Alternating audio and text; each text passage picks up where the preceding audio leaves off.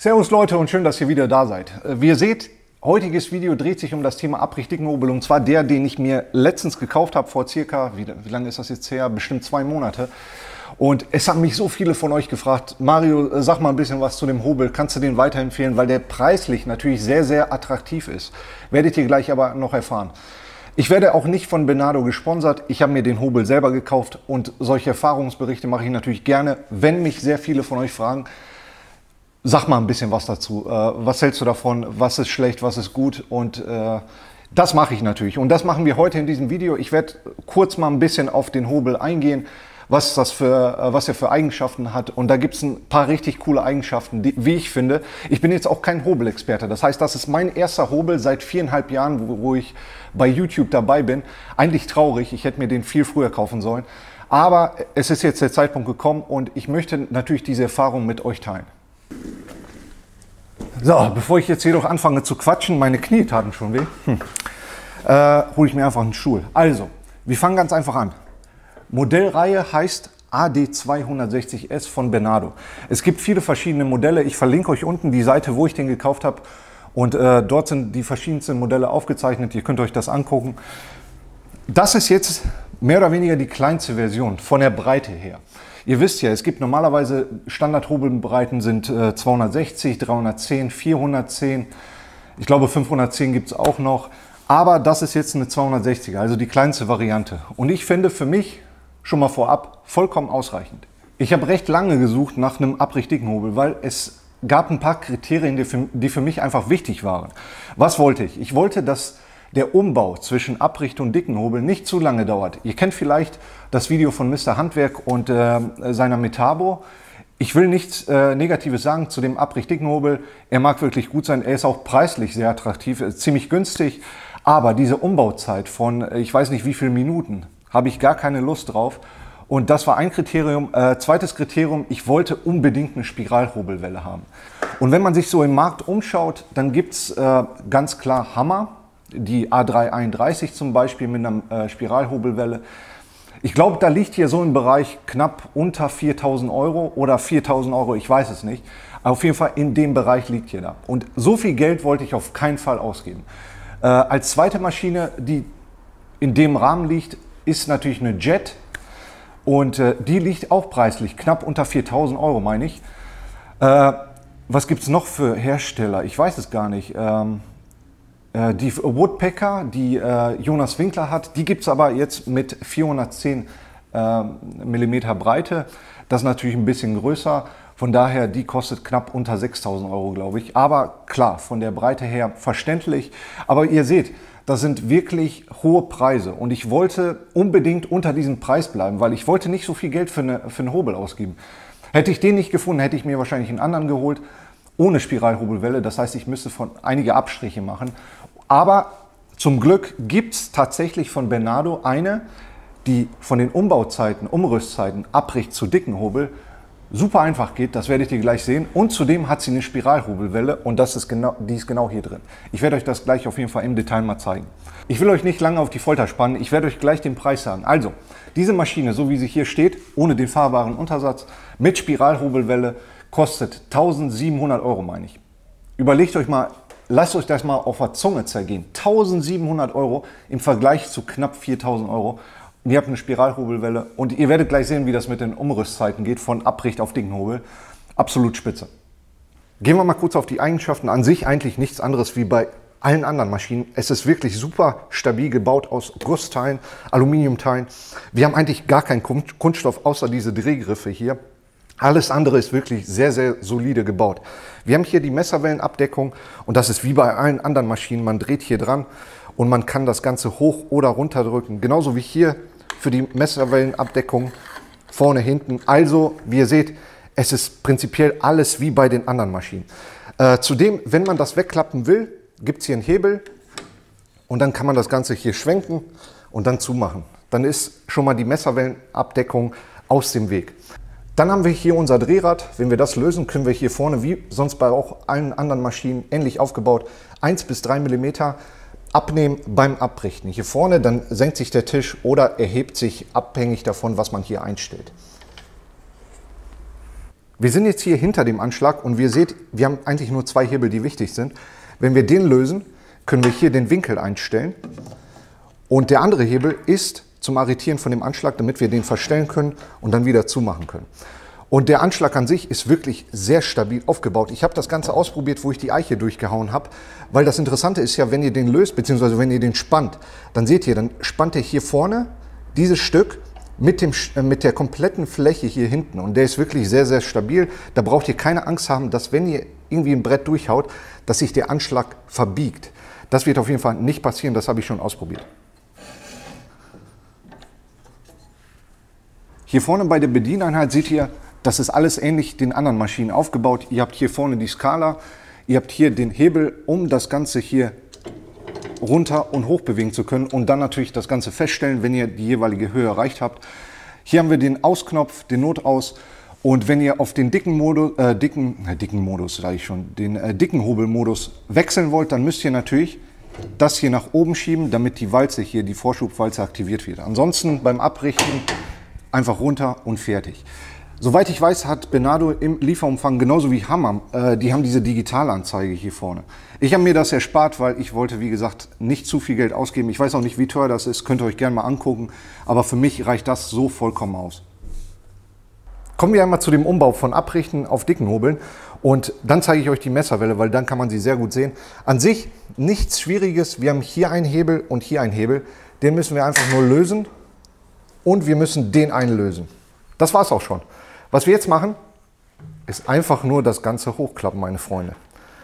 Und ihr seht, wie schnell das geht. Das waren jetzt mit euch zusammen beim Zeigen 5, 6 Sekunden, 10 Sekunden, lass es 10 Sekunden sein, ansonsten brauchen wir 5 Sekunden und es ist umgebaut von Abrichter auf dicken Hobel. Und das Coole ist ja, so, wenn wir das natürlich rückgängig machen, dann müssen wir hier einmal drücken und das Ganze wieder runterschieben. Das Coole ist ja, wir müssen den Anschlag nicht rausnehmen oder verschieben. Wir müssen äh, nicht den einen Tisch vorher äh, hochmachen, dann den anderen hochmachen oder wir müssen nicht den Tisch abbauen oder was auch immer. So schnell geht das und das finde ich richtig geil. Das spart natürlich ordentlich Zeit. Wenn wir das haben, dann müssen wir natürlich erstmal das hier runterfahren. Ich mache das mal einmal. Auf die Schnelle. So, ich glaube, das reicht schon.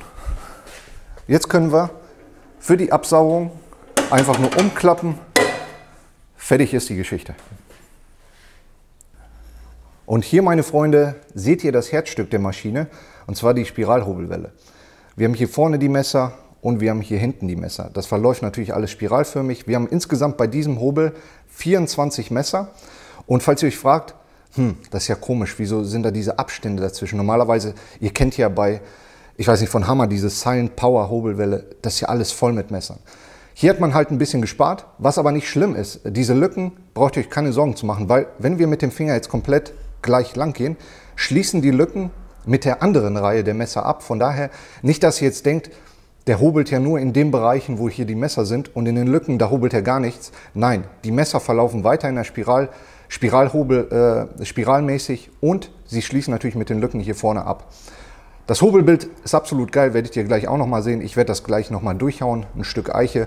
Aber das Coole bei diesen Messern ist halt, ihr kennt das ja, man kann sie wechseln. Wenn zum Beispiel ein Nagel da ist, ihr beschädigt irgendein Messer, dann könnt ihr das tauschen. Ihr nehmt das einfach hier ab, dreht das Messer, hier ist durchnummeriert 1, 2, 3 und äh, wahrscheinlich hier ist ein, was ist das, ein Rautezeichen, das ist wahrscheinlich die letzte Stelle. Und dann könnt ihr das Ganze viermal wenden. Von daher braucht ihr keine Angst haben. Ihr kriegt sogar noch fünf von diesen Messern mitgeliefert, falls es komplett kaputt geht. Aber das Ding ist wirklich klasse. Bevor wir gleich mit den Hobeln anfangen, wollte ich euch hier unter dem dicken Hobeltisch mal zeigen, wie das Ganze aussieht, weil das auch für sehr viele interessant war. Und wir haben hier mittig unsere fette Säule, die den ganzen Tisch nach oben und unten bewegt. Und ich würde sagen, diese Säule, das ist auch bei sehr vielen Hobeln so, das ist wie so eine Art Führungssäule ähm, würde ich jetzt behaupten. Falls ich falsch liege, könnt ihr mich gerne korrigieren. Ansonsten, ihr kennt das ja bei günstigeren Hobeln. Wenn ihr das Ganze hoch, äh, hochdrückt ähm, oder runterdrückt und ihr schickt euer Holz durch und es hobelt, dann kann es passieren, dass euer Tisch hier vorne runterklappt, so ein bisschen sich neigt nach unten oder äh, in dem hinteren Bereich sich nach unten neigt. Das passiert bei diesen Hobel auf jeden Fall nicht. Ich habe das nämlich verfolgt, wo ich mein Bett gebaut habe und der Tisch war die ganze Zeit super gerade, es hat sich nichts bewegt. Das kann ich euch auf jeden Fall garantieren. So, ich habe hier ein schönes Stück Eiche, das werden wir gleich durchhauen durch den dicken Hobel. Ich werde gleichzeitig den, äh, die Lautstärke mit aufnehmen, dann könnt ihr euch das anschauen. Und an sich, sobald wir durch sind, schauen wir uns mal das Hobelbild an. Ich werde gleich die Maschine einschalten und ihr seht hier vorne mein Handy, das nimmt die Lautstärke auf in Dezibel mit so einer App. Ob die App jetzt super ist, ich weiß, es ist gar keine geeichte Messung, aber ihr könnt ungefähr erahnen, wie laut das Ganze ist. Äh, mein Handy ist jetzt ungefähr einen Meter von entfernt und ihr werdet gleich so ein kleines Brummen hören im Intervall. Das liegt aber an dem Gehäuse, an dem Blech hier hinten, das vibriert. Ich, äh, ich mache das gleich mal an, dann hört ihr das Brummen und wenn ich gegen das Blech drücke, dann hört das Brummen auf.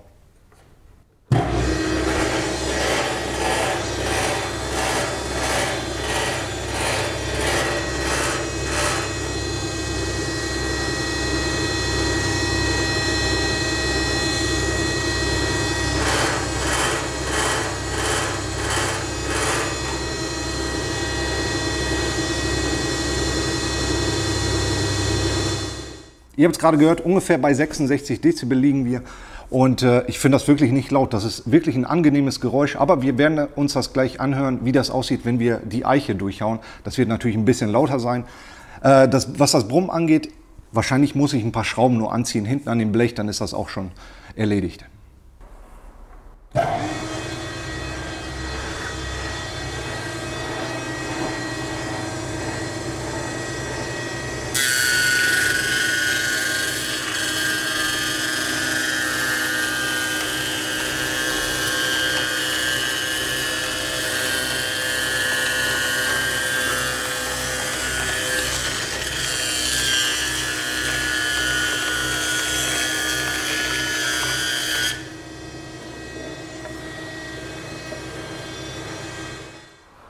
So, macht das, was ich gerade gemacht habe, auf jeden Fall nicht nach.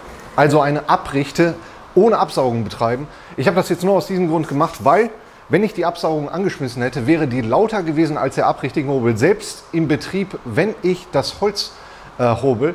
Von daher habe ich es ausgelassen. Aber an sich, dieser Feinstaub, man hat diesen richtig feinen Staub gesehen in der kompletten Garage. Also, niemals Abrichtigenhobel ohne Absaugung betreiben. Was das Hobelbild angeht, hier könnt ihr es sehen, Absolut klasse Bild, wirklich glatt. Das ist ja förmlich am Glänzen. Nirgendwo irgendwelche Hobelschläge, also wirklich klasse. Ich kann wirklich nichts Negatives zu dem Hobelbild sagen.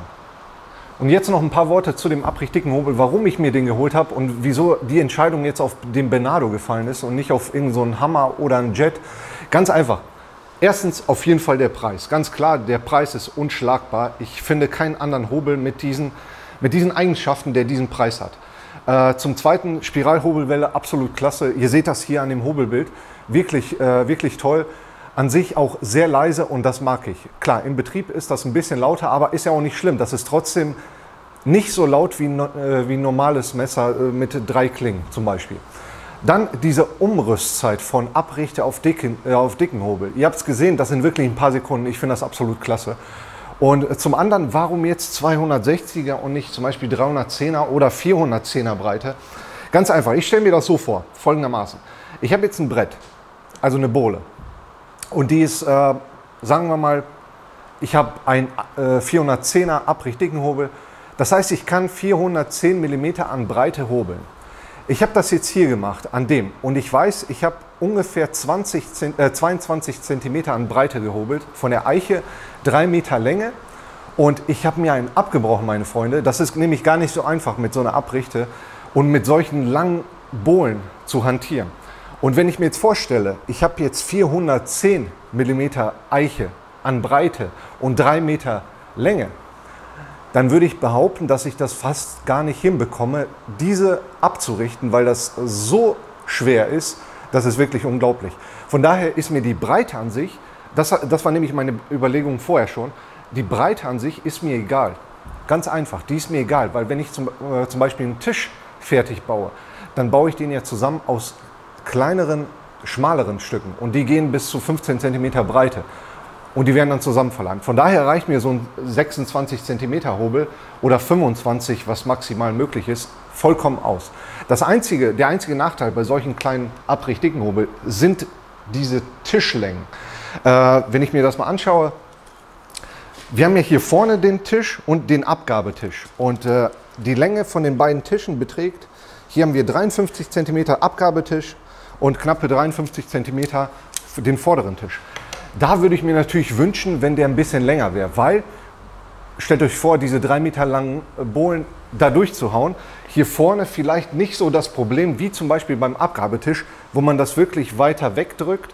Und jetzt stellt euch mal vor, diese drei Meter lange Bohle, die ist ja richtig schwer. Und ihr kommt schon fast bis zum Ende. Das ganze Gewicht ist schon oft am Abgabetisch, also eigentlich in der Luft. Und ihr müsst trotzdem weiter runterdrücken, um ein schönes Rubbelbild zu haben. Und da bin ich mir sicher, bei drei Meter ohne Rollböcke oder irgendwelche Unterstützung fällt das Ganze hin und dann habt ihr euer Hobelbild versaut. Von daher, da würde ich mir zum Beispiel wünschen, einfach, dass der Tisch länger ist. Aber bei dieser Dimension von abrichtigen Hobel, das heißt bei 260ern, bin ich mir sicher, es gibt keinen anderen Hobel, der, keine Ahnung, äh, zwei Meter Abgabetisch hat. Gibt es, gibt es einfach nicht. Deswegen holt man sich auch zum Beispiel einen 410er abrichtigen Hobel, weil die Tische auf jeden Fall ein bisschen länger sind. Aber ich finde das nicht schlimm, weil ohne die Dinger hätte ich das sowieso nicht geschafft. Deswegen habe ich mir die äh, von vornherein schon geholt. Rollböcke. Zwei Stück. Ich glaube, die kosten irgendwie an die 70 Euro. Also nicht so viel. Und ohne die hätte ich das sowieso nicht geschafft mit dem Abrichten. Von daher bin ich glücklich, dass ich mir die geholt habe. Und, und wenn ihr euch solche äh, abrichtigen Mobile holt, kann ich euch auf jeden Fall empfehlen, holt euch Rollböcke. Ihr werdet die immer wieder brauchen. Glaubt es mir. Was ist meine Meinung zu einem Benado abrichtigen Hobel mit Spiralhobelwelle? Ich finde das Ding einfach nur klasse. Ich konnte bislang wirklich nichts Negatives feststellen, was das Hobeln an sich angeht. Äh, er hat alles gemeistert. Ich habe ja das Bett fertig gemacht und das waren einige Bohlen. Ich glaube, ich habe acht Bohlen bestimmt 50er Breite durchgehauen, natürlich in kleineren Stücken. Aber alles gar kein Problem. Er hat mich nicht im Stich gelassen. Die Absaugung an sich, ich habe drüber gemeckert, aber prinzipiell, ich habe mich wieder abgeregt und äh, normalerweise, es ist halt so, was man zahlt, das kriegt man auch, beziehungsweise wie viel man zahlt, kriegt man auch. Das Ding ist nicht schlecht, es hat seine Arbeit geleistet. Klar, ein bisschen fummelig mit dem, äh, mit dem Spänesack, aber an sich, sie hat abgesaugt. Sie ist halt lauter als der Hobel, aber ich glaube, das ist schon fast normal. Ähm, ja, alles in allem auf jeden Fall zufrieden mit dem Hobel, eigentlich auch mit der Absaugung und die Rollböcke auf jeden Fall super wichtig, finde ich. Fahrbarer Untersatz finde ich auch sehr, sehr wichtig. Ansonsten könnte ich das Ding nicht durch die Garage bewegen und ich habe keinen Bock, mir irgendwas dafür zu bauen. Es gibt schon irgendwas, ich glaube 100, 100 oder 120 Euro kostet der fahrbare Untersatz. Ich werde euch auf jeden Fall alles unten verlinken. Falls euch das interessiert, könnt ihr euch gerne anschauen. Ansonsten Leute, falls ihr irgendwelche Fragen habt, falls ich irgendwas vergessen haben sollte zu erwähnen, irgendwas Wichtiges, dann schreibt mich einfach an, alles gar kein Problem. Und äh, ich hoffe, euch, ich konnte euch ein bisschen helfen bei der Entscheidung. Ansonsten sehen wir uns zum nächsten Video wieder. Macht's gut und bis dahin.